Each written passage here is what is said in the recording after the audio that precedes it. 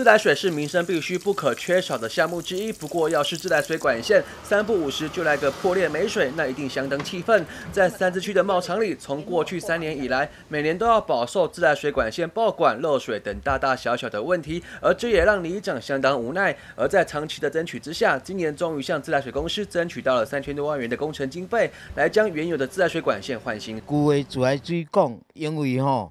拢安怎？以前下骹拢土啦吼，啊，佫讲是塑胶吼，拢烂去啊吼，渗透有，渗透啊，拢流迄个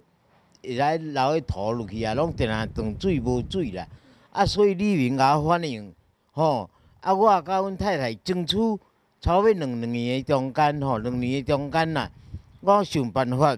哦，无袂使定水管安尼流去，啊，你就使渗透去地下，伊个啊拢定下无水啦。李长表示，原本的自来水管线不但是老旧，加上是一般的塑胶管材质，口径又小，在道路底下容易被压迫，因此在争取到了之后，将把主干管线换成较大，并且使用金属材质，让用水品质更好。争取两年中间，啊，争取差不多将近三千万吼，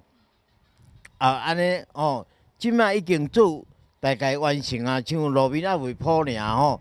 大部分拢完成啊。即卖申请诶真好，自来去公司安尼吼，甲阮安尼